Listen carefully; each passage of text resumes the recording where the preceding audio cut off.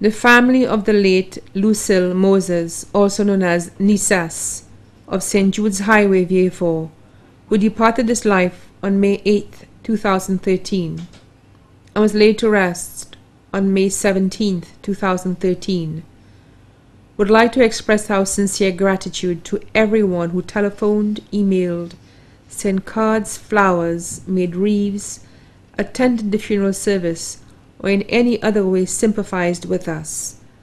Words cannot adequately express our appreciation for the generosity, love, and support you have extended to us during this time of bereavement.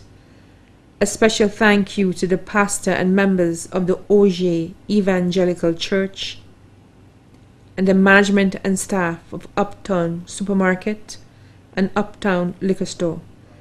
Thank you from the bottom of our hearts. She will never be forgotten.